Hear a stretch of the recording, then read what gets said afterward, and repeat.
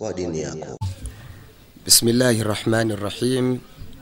Assalamu alaikum warahmatullahi wabarakatuh.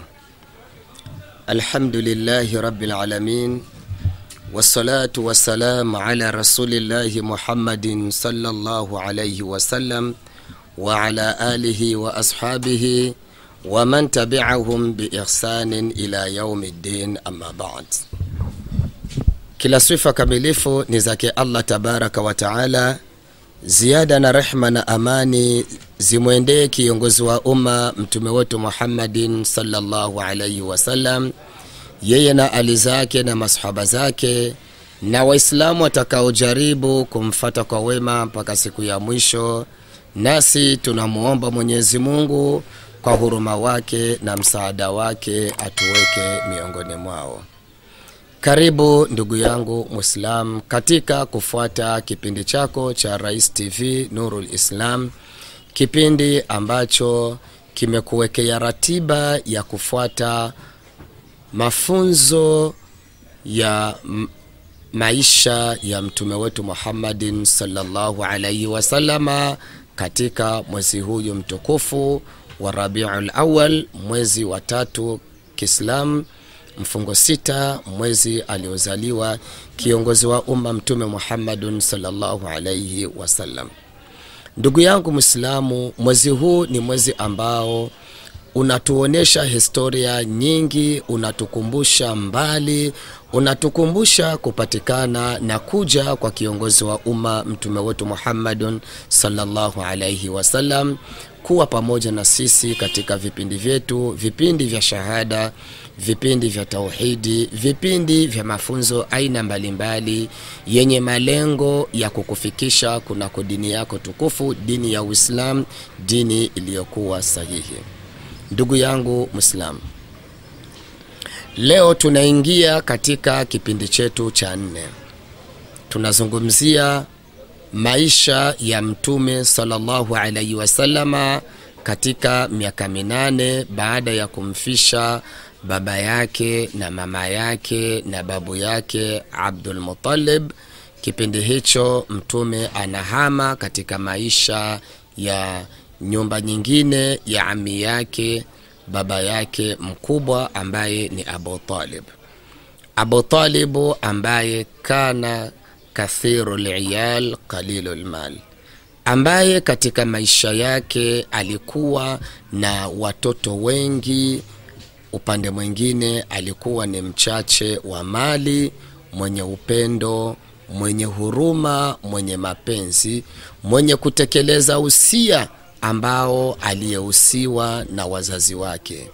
Mzazi wake kabla ya kufa alimuhusia amchunge na amlinde na amhifadhi mtoto wa ndugu yake ambaye ni Muhammad, na yeye katekeleza. Sasa kwa hiyo ndugu yangu Muislamu, Muhammadi alipofika hapo alianza kazi ya kuchunga mbuzi na kondoo kama tulivyosikia katika e, kipindi chetu cha namba tatu. Sasa leo tunaendelea na leo tunataka tutazame faida gani za kuchunga mbuzi na kondoo. Kuna hikma gani ambayo Mwenyezi Mungu Subhanahu wa Ta'ala aliyoiweka kwa mitume wa Mwenyezi Mungu kuanza kuchunga mbuzi na kondoo. Kuwa pamoja na mimi katika kipindi hicho, ndugu yangu Muislamu.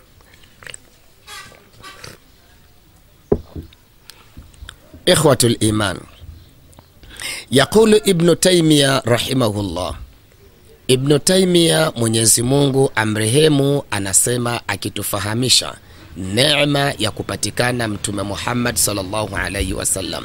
Muhammadu kwako ni nani? Muhammadi kwako ni rehma, Muhammadi kwako ni baraka, Muhammadi kwako ndiyo njia na ndiyo uokozi wako, kwa sharti kama utamfahamu na ukamwelewa. Aya inasema wama arsalnaka illa rahmatan lilalamin, Muhammadi haukutumwa isipokuwa wewe ni kuja kuwa rehma kwa walimwengu. Walimwengu wote wanapotaka amani wanapotaka usalama wanapotaka utulivu wamfuate mtume muhammadin salllahu alaihi wasallam. Katika maisha yote ya mwanadamu anapotaka utulivu mfano wewe kama ni mwanaume unataka utulivu katika maisha yako ya ndoa basi fata maelekezo ya mtume muhammadin salllahu alaihi wasallam na wewe kama ni mwanamama unataka mafundisho unapata, unatafuta amani na usalama fata mafundisho na maelekezo ya kiongozi wa umma mtume muhammadun sallallahu alaihi wasallam. Na kama wewe ni kiongozi wa jamii ni kiongozi wa umma ni kiongozi wa familia unapotaka kufanikisha katika uongozi wako na katika madaraka yako basi fuata maelekezo na ushauri ulioshauriwa na mtume muhammadun salllahu alaihi wasallam kwa sababu muhammadun salllahu alaihi wasalama yeye wote ni rehma kwa walimwengu. Alikuzaliwa kwake watu walipata amani wakapata usalama wakapata utulivu. Wanyonge wakapata amani wadhulumiwa wakapata amani wakapata haki zao na kila mtu akaelekezwa mwanzo wake na mwisho wake na kila mtu akaelekezwa mwanzo wa mpaka wake na mwisho wa mpaka wake katika mafundisho ya kiongozi wa umma mtume muhammadun salllahu alaihi wasallam na ndiyo maana akasema faatu likuli dhi haqin haqahu kila mwenye haki mpeni haki yake. Awe mtoto apewe haki awe mama apewe haki. Awe mke apewe haki. Awe baba apewe haki. Awe mume apewe haki. Awe mfanyakazi apewe haki. Awe mtumwa apewe haki. Uwe ni mnyama upewe haki. Uwe ni mdudu upewe haki. Na kinachotaka kunyongwa kinyongeni lakini haki yake mkipe. Haki hizo zilipatikana kwa ujio wa mtume wetu muhammadun salllahu alaihi wasallam kwa hivyo mwezi huu ni mwezi wa kukumbuka ujio wa mtume wetu muhammadun salllahu alaihi wasallam ndugu yangu mwislamu ntakuomba mimi na wewe tuweshi pamoja tuyasikilize maneno mazuri aliyoyazungumza Sheikhul Islam ibnu taimia pindi katika maneno haya utakapoyasikiliza kwa masikio mazuri ya kuelewa ndani yake utagundua kitu na utauona ubora wa kumfuata na kuwa chini ya nyayo za mtume muhammadun salllahu alaihi wasallam. Ibnu taimia anasema ma anama llaha lam yanami llaha subhanahu wataala ni'matan ala ahli lardi min irsali adhami min irsali muhammadin salllahu alaihi wasalama ilaihi allahu akbar. Maneno haya ndugu yangu muslam ni maneno ya kuandikwa kwa dhahabu ni maneno ya kuandikwa kwa wino wa dhahabu. Ni maneno ya kila mtu anapohitaji maisha yake basi ajue kwamba maisha yake yako kwa nabii muhammad. Allahu akbar. Yatakuwaje kwa nabii muhammad?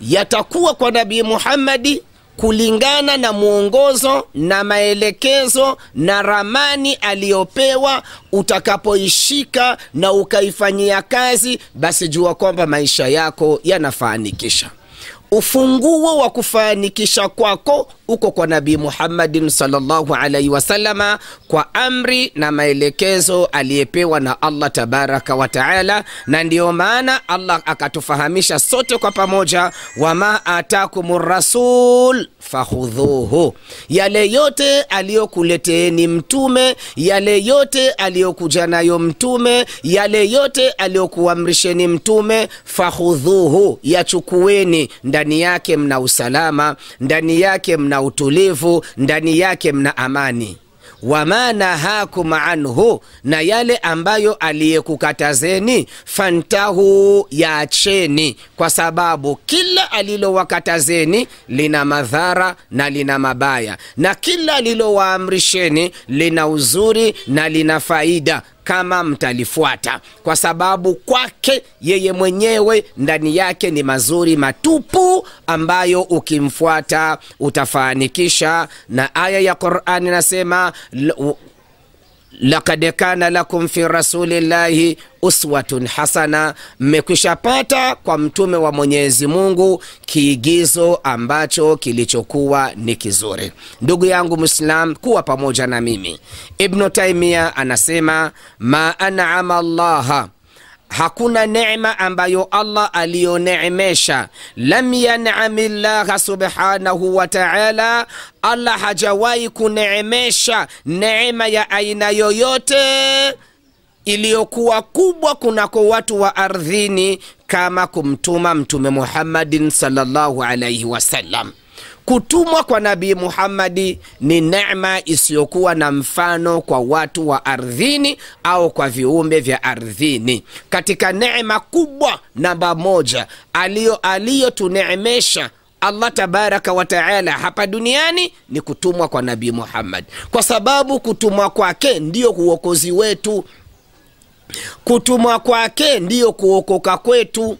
Kutumwa kwake ndiyo kupata amani na usalama kwa watu gani? Kwa wale watakayemwamini, kwa wale watakayomtii, kwa wale watakayomfuata, kwa wale watakayefuata maelekezo yake na wakafuata ushauri wake, basi bila shaka maisha yao yote yatakuwa na amani na usalama na utulivu. Ndugu yangu, kila kiumbe kilichokuwa chini ya ardhi, kila kiumbe kilichokuwa chini ya ardhi, kila kiumbe kilichokuwa chini ya mbingu, kila kiumbe kilichokuwa juu ya ardhi kwa maelekezo ya Mtume Muhammadi kinapata amani na usalama na utulivu. Waliokuwa hapa ardhini maisha yao yanakuwa bora sawa na maelekezo ya Mtume Muhammad.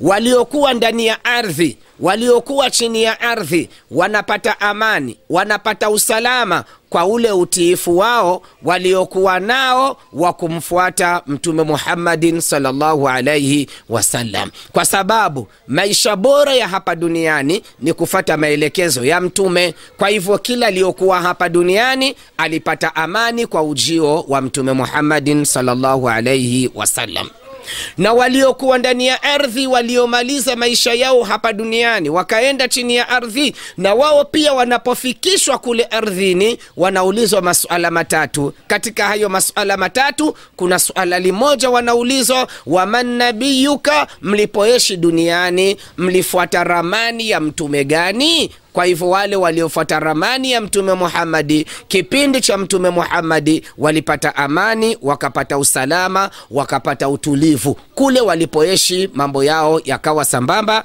yakawa mazuri, yakawa na amani. Kwa hivyo ndugu yangu Mwislamu, kumfuata Mtume na kufuata mafundisho yake na kufuata maelekezo yake na kufuata maamrisho yake na kuwacha makatazo yake na yale aliyoyakemea ni kukupa maisha yali iliyokuwa bora ya hapa duniani na kukupa mwelekeo uliokuwa mzuri na kupata ramani iliyokuwa nzuri ya kwenda kuonana na Allah subhanahu wa ta'ala. Ndugu yangu Muislam, leo tunaangalia mafundisho. Miaka minane Mtume sallallahu alaihi wasallama anachunga mbuzi, anachunga kondoo. Tuangalie katika mafundisho yake hadithi aliyoipokea Abu Huraira radhiallahu anhu anna Rasulallahi sallallahu alaihi wasallama qal, Mtume sallallahu alaihi wasallama anasema ma min nabiyin illa waqad raa lghanam qalu ya Rasulallah wa anta qala naam kuntu araaha ala, ala qararitu li ahli Makka. Naam, hadithi hii imepokelewa na Abu imepokelewa na Bukhari, katika riwaya nyingine imepokelewa na Muslim. Kutoka kwa nani? Kwa Abu Huraira radhiallahu anhu. Mtume sallallahu alaihi wasallama anawaelekeza masahaba anatoa historia yake anaonyesha silsila ya masahaba na njia ya masahaba mtume anasema ma min nabiyin illa waqad raa lghanam hakuna nabii wa aina yoyote ambaye aliyetumwa na allah isipokuwa alipitia njia ya kuchunga mbuzi na kondoo. Nabii yoyote ambaye aliyetumwa na allah alipitia katika njia ya kuchunga mbuzi na kondoo. Mitume waliyemtangulia mtume walichunga mbuzi na kondoo na mtume na yeye pia anawahakikishia masahaba zake. Qalu wa anta ya rasulllah masahaba wakamuuliza mtume wa anta ya rasulllah ewe mtume na wewe ulifikia kuchunga mbuzi na kondoo? Qala naam. Mtume akasema ndiyo kuntu araaha ala qarariti li ahli makka mimi nilikuwa nachunga mbuzi kunako mapatano ya ujira mbuzi za watu wa maka kwa hivyo na mtume sallallahu alaihi wasalama anatuthibitishia kwamba na yeye kazi ya kuchunga mbuzi na kondoo aliifanya. Aliianza wakati gani? Aliianza kunako miaka minane baada ya babu yake kufariki na kwenda kwe chini ya mamlaka ya nani? Kwenda chini ya mamlaka ya baba yake mkubwa abu talibu baada ya kuona maisha yalivyokuwa mazito yaliyokuwa magumu safari ya bwana mtume ikafika inabadilika. Ndiyo kipindi tulichokuwa tunazungumza mtume sallallahu alaihi wasalama akawa anafanya kazi ya kuchunga mbuzi na kondoo. Mwenyewe anayathibitisha katika maisha yake. Na mbuzi hao aliwachunga kwa ujira. Watu wa maka walikuwa wanampa ujira ujira ule anauchukua anaupeleka kwa nani? Anaupeleka kwa baba yake kama msaada wa kumsaidia baba yake na yeye pia. Na moja katika njia ya mtume kujikinga kula bila kufanya kazi mtume kula jasho ya wengine bila kuwa na msaada wa yeye kutoa katika familia yake. Ndugu yangu mwislam suala la kujiuliza kuna hikma gani ya mtume kuchunga mbuzi na kondoo kuna hikma gani ya mtume kuwakosa wazazi angali mtoto mdogo? Kuna hikma gani ya mitume kuanza kuchunga mbuzi na kondoo? Kuna hikma gani ndugu yangu mwislamu hikma ya kwanza ambayo tunaweza tukaichukua ya mtume kuzaliwa hana baba kueshi hana mama wala hana babu hapa kuna hikma kubwa katika maandalizi ya kumwandaa mtume kwa sababu utume wake utakuwa ni utume wa kielimu na kama utakuwa ni utume wa kielimu na kama mtume atakuwa na wazazi akawapata wa kumpa elimu basi dawa kwake ngelikuwa ni nzito kwa sababu baadhi ya wapinzani baadhi ya wakorofi wangeliweka uzito na wangeliweka vikwazo kwamba haya ni mambo ya wasomi. Lakini hapa akaandaliwa mtume alelewe katika mfumo ambao hautampa nafasi ya kusoma au kupelekwa shule au kusomeshwa au kuhudumiwa. Awe ni mtume ambaye asiyokuwa na elimu asiyojua kusoma wala kuandika alafu apewe muujiza wa elimu na apewe muujiza wa mambo yaliyotangulia. Waliokuwa na akili watambue kweli huyu ni mtume wa allah. Haya anayoyasema yametoka wapi? Na ndiyo maana aya ya kwanza ndani ya qurani ni kusoma lakini mtume hakusoma. Mtume kayazungumza mambo yaliyopatikana ndani ya zaburi yaliyopatikana ndani ya taurati yaliyopatikana ndani ya injili. Waliosoma zaburi wakiangalia wanakuta ni tiki waliosoma taurati wakiangalia wanakuta ni kweli. Waliosoma injili wakiangalia wanakuta ni kweli. Lakini huyu hakusoma yanatoka wapi? Waliokuwa na akili wanajua kwamba haya ni kutoka kwa allah tabaraka wa taala.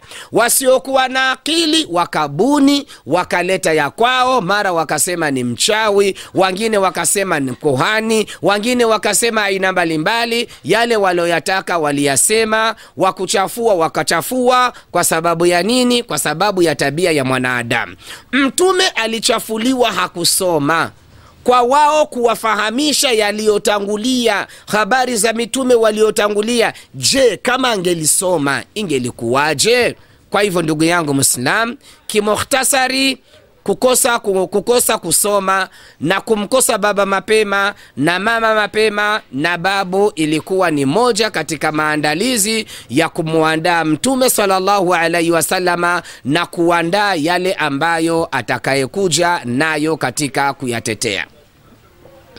Ama hikma ya mtume sallallahu alaihi wasalama kuchunga mbuzi na kuchunga kondoo kabla ya utume wake ndani yake mna hikma nyingi. Leo ningeliomba tutosheke na hikma tatu tu.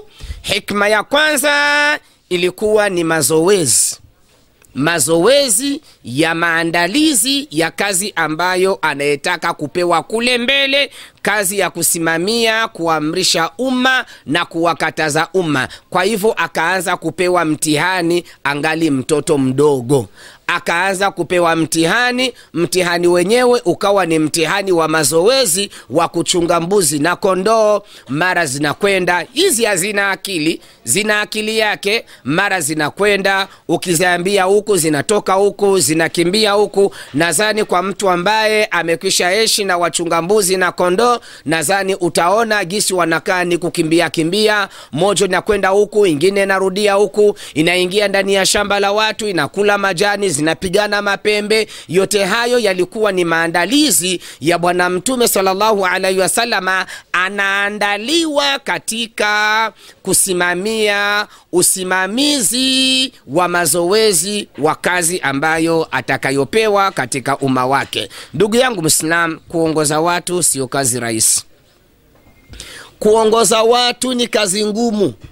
Kwa sababu ndani ya watu mna matabaka aina mbalimbali katika matabaka ya watu kuna baadhi ya watu ambao katika maisha yao hawataki kuamrishwa. Wanaesha hawataki kuamrishwa. Kuna watu katika maisha yao hawataki kukatazwa. Kuna watu katika maisha yao hawataki kulazimishwa. Hawataki kabisa. Wana, yale wanaoyataka yawe hayo hayo. Wakitaka mkono huu ni mkono huu. Wakitaka hivi wanataka hivi. Ukimlazimisha shari ukimkataza shari ukimwelekeza shari ukimwambia hili ni libaya shari ukimwambia hili ni lizuri shari ndiyo maisha ya wanadamu. Kuna wanadamu ambao katika maisha yao akikaa anataka akae. Usimwambii simama usimwambie umekaa pabaya usimwambie umekaa barabarani. Yeye anachokitaka hicho. Kwa hivyo kuishi na watu kama vile hawa ni kazi ambayo iliyokuwa ngumu isiyokuwa na mfano. Kupewa majukumu ya kuwaelekeza watu wasiotaka kuamrishwa wasiotaka kukatazwa wasiotaka kuelekezwa wasiotaka kushauriwa basi jua kwamba ni kazi ngumu sana. Inabidi uwe umejitoa kabisa kwa sababu la kuwezekana lolote litakuwepo. Ndiyo haya unayoyaona katika maisha yetu ya leo. Haya matabaka yote ndani ya wanadamu yapo na ninaamini kwa hivi sasa ukitazama jamii yako uliyokuwa nayo ukatazama popote penye wewe unaishi haya utayaona. Akipatikana mwanadini ndani ya mji akipatikana mwanadini ndani ya jamii yeye akachukua kazi ya kuamrishana mema na kukatazana mabaya. Kwa hivyo yeye anaonekana kwamba mbaya anaonekana kwamba hafai anapewa matusi anapewa vikombora anapewa aibu anapewa majina anapewa tabia aina mbalimbali. Kwa sababu ya nini? Kwa sababu ya maumbile ya wanadamu. Wanadamu kuna wale wanayetaka akitaka yeye ndiye afanye. Akitaka yeye aache. Lakini asilazimishwi kuacha akitaka yeye aende lakini asilazimishwi kwenda. Wanadamu hawa wapo na ndio wengi. Sasa kwa hivyo katika kazi za mitume mtume anaandaliwa kupitia kwenye minyama. Mtume anaandaliwa kupitia kwenye kondoo kupitia kwenye mbuzi. Aanze, aanze mazoezi ya wambuzi hawa wanakwenda huku anakimbizana nao wanarudi huku anakimbizana nao wanayekwenda ndani ya mashamba ya watu anakwenda kuwatoa anawarudisha anawaweka sehemu moja. Kwa hivyo hikma ya kwanza ya mtume salllahu alaihi wasalama kupewa kazi ya kuchunga mbuzi na kondoo aidha kuandaliwa maisha ya kufikia kuchunga mbuzi na kondoo ni katika mazoezi ya kujiandaa kwa kazi ambayo inamsubiri huko mbele. Hikma ya pili ndugu yangu mwislamu katika kuweshi na mbuzi hawa ndani yake kuna wale wa mbuzi uta, yale utakayowakataza wanakwenda huko huko. Inalazimika kujenga upole na huruma. Upole na huruma. Kuna wale wa mbuzi maskini ya mungu hawasikii utawaambia unaona wanakutazama. We unaona kwamba wanakuona kumbe hawakuoni. Masha allah ndani yake kunakuwa upole ndani yake panakuwa huruma kwa sababu katika maisha unayokwenda ni maisha ambayo wale wanadamu utakayoishi nao utalazimika kuwa na huruma utalazimika kuwa na upendo utalazimika kujenga moyo wa kusamehe kwa hivyo wanadamu kuna wale wanadamu anatenda mabaya na anakutazama. Anatenda mabaya aliyokufanyia na yeye anakuwa ni waajabu kama hautokuwa na huruma kama hautokuwa na upendo kama hautokuwa na msamaha kuishi na wanadamu itakuwa ni vigumu. Ndugu yangu mwislam kazi ya dawa inahitaji maandalizi kazi ya dawa inahitaji mazoezi kazi ya dawa inahitaji kujitoa kabisa kuwa sawasawa. Kwa hivyo mtume sallallahu alaihi wasalama jambo la pili katika hikma ya kuanza kuchunga mbuzi na kondoo yalikuwa ni maandalizi ya kuandaliwa awe na huruma awe na upendo awe na msamaha kupitia katika ile minyama. Ana fimbo anaiambia inamtazama akimaliza kusema inaenda mshamba la watu kama hatakuwa na huruma ataimaliza kwa kupiga fimbo. Kwa hivyo hata mtume salllahu wasalama katika waja wake alikuwa ni mwenye huruma sana alikuwa ni mwenye upendo sana. Ndiyo maana alilala usiku anaombea umma wake alilala usiku anawaombea msamaha. Ndiyo maana hata katika maisha yake alipokwenda taif wakampiga mawe wakamfanyia mabaya kwa sababu alikuwa amekwisha andaliwa kusamehe malaika alipokuja akamfahamisha na kuja na risala kutoka kwa mola wako anasema omba chochote unachotaka waliyekupiga mawe waliokutoa damu wapewe adhabu. Rasulullahi salllahu alaihi wasallam kwa kuwa alikuwaga amekwishapitia kule katika mazoezi ya kuchunga katika mazoezi ya kumpa huruma na upole alifanya nini? Aliinua mikono akasema allahuma ghfir liqaumi fainnahum la yalamun. Ewe mwenyezi mungu wasamehe watu wangu. Sitaki kuona wanaangamizwa machoni mwangu. Sitaki kuona wanapata mabalaya machoni mwangu. Japokuwa wamenifanyia mabaya wamenipiga wamenitusi wamenifanyia mambo aina mbalimbali. Lakini wasamehe haya ni maandalizi aliyoyapata mtume wetu muhammadun sallallahu alaihi wasallam allahumma ghfir liqaumi e mwenyezi mungu wasamehe watu wangu fainnahum la yalamun. Hawajui wangelinijua kwamba mimi nawatakia kheri nawatakia amani nawatakia usalama nawatakia upendo nawatakia maisha yaliyokuwa bora baada, baada ya haya maisha wasingelinifanyia haya ambayo wanenifanyia. Kwa hivyo ndugu yangu mwislamu na wewe kama mwislamu mfuasi wa mtume salllahu alaihi wasalama unapokuwa katika kazi ya dawa unapokuwa katika kazi ya kulingania basi na wewe andaa kifua chako andaa roho yako kwa mabaya yote utakayofanyiwa kwa machafu yote utakayofanyiwa sawa uliowafanyia wema sawa ambayo hawakuwafanyia wema sawa wanayekujua na wasiokujua watakapokufanyia mabaya basi andaa kauli andaa roho ya kurudisha andaa mdomo wa kurudisha msamaha na upendo na huruma. Uwe tayari kuwasamehe waliokufanyia mabaya. Na ndiyo maana katika maisha ya bwana mtume mtume salllahu alaihi wasallam alileta fundisho akasema afdalu lfadail mambo yaliyokuwa bora kuliko mambo mengine antasula man qataaka watutia man haramaka watasfaha amman dhalamaka mambo yaliyokuwa bora katika mambo yote. Wewe kama ni mwislamu ni mfuasi wa nabii muhammad jambo la kwanza antutia man haramaka ni kumpa kila yule aliyekunyima. Mwislamu huwa halipishi. Madamu alininyima achana mimi ni mnyime madamu huyu hakunipa achana mimi nisimpi madamu huyu alinikomesha achana mimi nimkomeshe. Madamu huyu kanitukana achana mimi nimtukane. Madamu huyu alipokuwa na nguvu alinifanyiaga hivi achana mimi leo nimekuwa na nguvu nimfanyie hivi. Uislamu haukubaliani na tabia hiyo. Idfa billati hiya ahsan. Faidha ladhi bainaka wa bainahu adawa kaannahu waliyun hamim.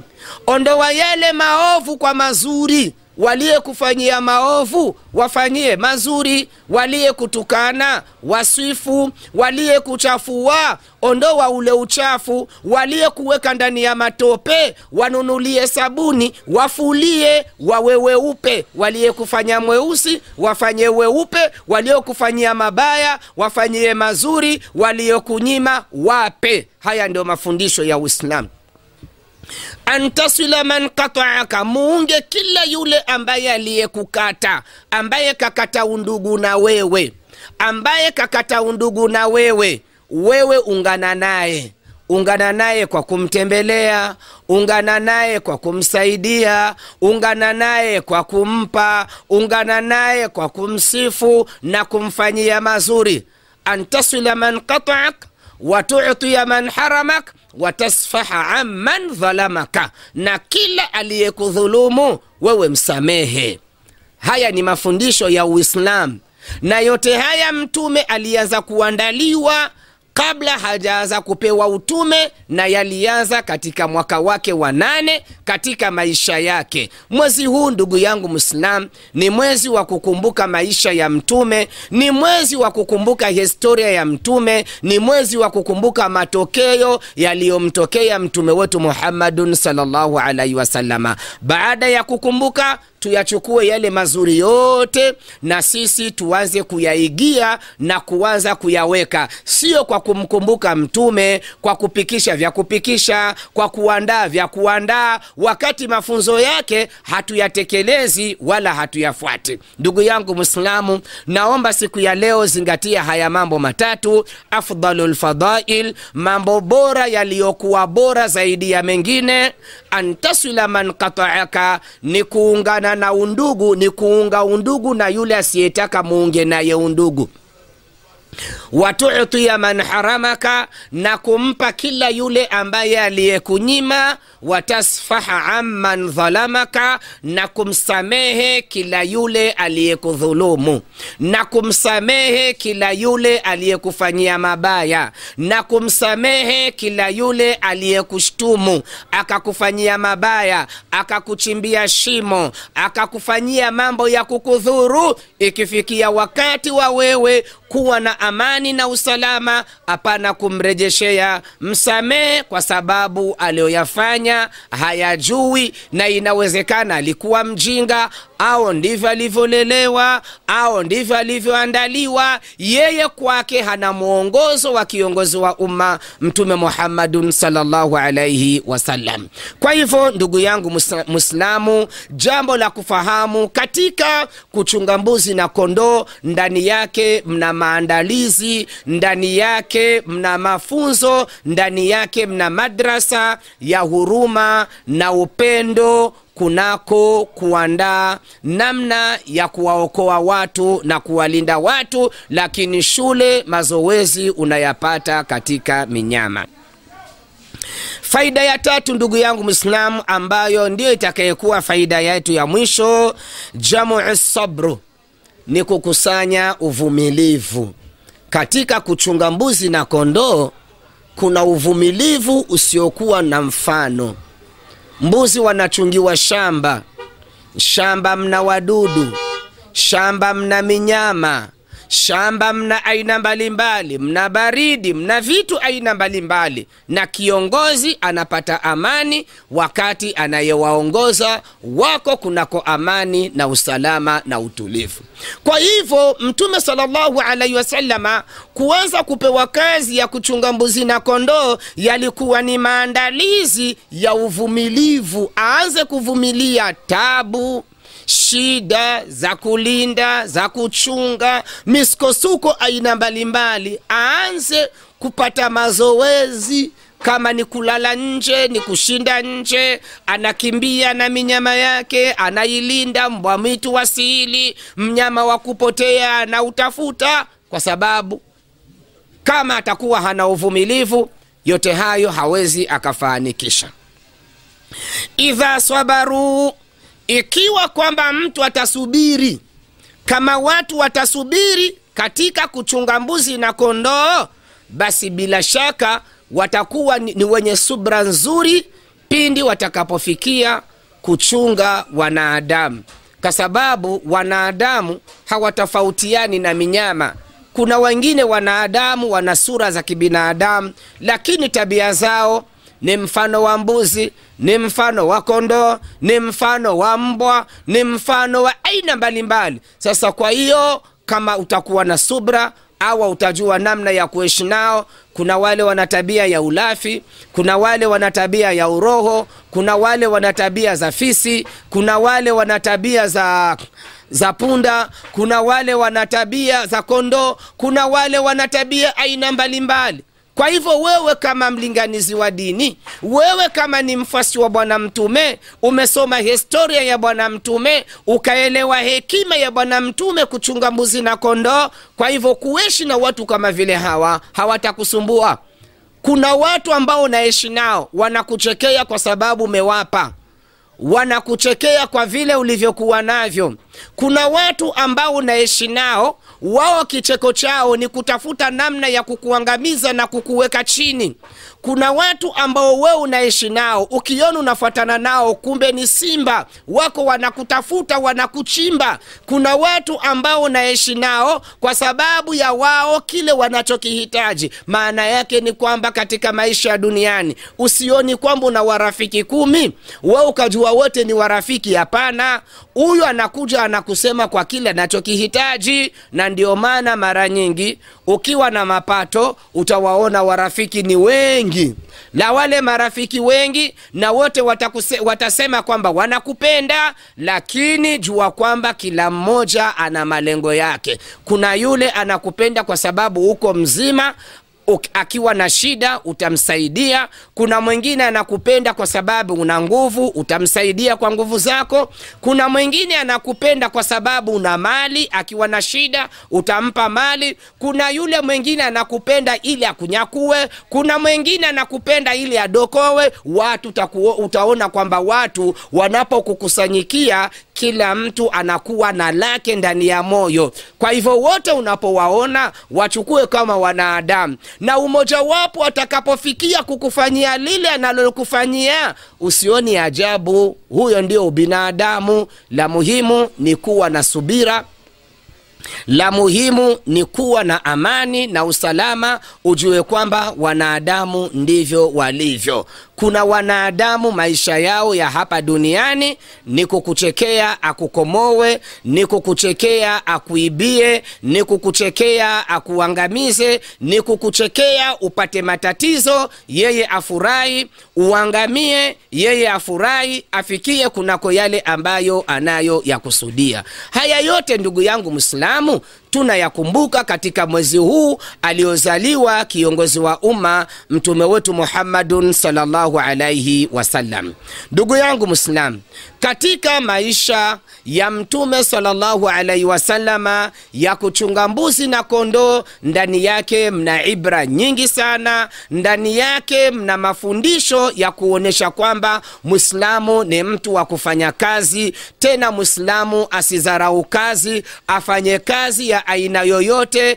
japokuwa itakuwa ni kazi mbaya mradi apate chakula chake cha halali ndani yake mna uchungaji ndani yake mna ujengo wa kujenga huruma na amani na usalama. Ndani yake mna mafundisho aina mbalimbali ambayo yote hatuwezi tukayazungumzia hapa na tukayamaliza. Leo ndugu yangu mslam tunafundishana kwamba muhammadu kwetu sisi ni neema iliyokuwa kubwa kama tutamtii na tukafuata mafundisho yake na tukafuata maamrisho yake na tukafuata yale yote ambayo aliyokuja nayo tutapata amani na usalama na utulivu. Kuzaliwa kwake ni nema kwetu kuzaliwa kwake ni baraka kwetu kuzaliwa kwake ni uokozi wetu. Haya yote tunayapata katika mwezi huu wa rabiul awal na mafundisho haya ndugu yangu mwislam sio tu yawe yanatolewa tu katika mwezi wa rabiul awal maisha yote ya Muislam yawe ni maisha ya kuzungumzia maisha ya mtume muhammad salllahu alaihi wasalama kwa sababu hauwezi ukawa mwislamu kama utakuwa mbali na mafundisho ya mtume salallahu alaihi wasallam. Na inapofika miezi kama vile hii inakuwa ni zaidi ni zaidi. Watoto mashuleni wafundishwe historia ya bwana mtume. Miskitini wafundishwe historia ya bwana mtume. Vijiweni watu wakumbushane maisha ya bwana mtume. Sio tu kwa masiku maalumu kama gisi unakutana leo baadhi ya watu wameandaa masiku teule. Ikifika ile ile tarehe ndio watu wanakusanyika sehemu moja wanaleta vya kuleta wanafanya vya kufanya. Eti tunakaa kukumbuka uzao wa mtume salllahu alaihi wasallam kwa hivyo uzao wa bwana mtume na maisha ya bwana mtume ni maisha yetu. Moja kwa moja maisha yetu. Miaka yote maisha yote. Lazima tusome maisha ya bwana mtume kwa sababu ndiye mwokozi wetu. Ndugu yangu mislam namwomba allah tabaraka wataala atujalie tuwe kwenye kusikia mazuri na kuyafuata na kusikia maovu na kuepukana. Haya utayapata katika rais tv nurul islam tv ambayo iko kwa lengo la kukufunza na kuelekeza na kukushauri katika yale ambayo yatakayetusaidia katika maisha yetu ya hapa duniani na maisha yetu ya baada ya kufa. Tukutane mara nyingine katika kipindi cha rais tv nurul islam bonyeza utaratibu na fuatilia utakayoelekeza kwa lengo la kuwa unapata vipindi vyetu kwa siku kwa kila siku na kwa muda wa aina yoyote. Wassalamu alaikum warahmatullahi wabarakatuh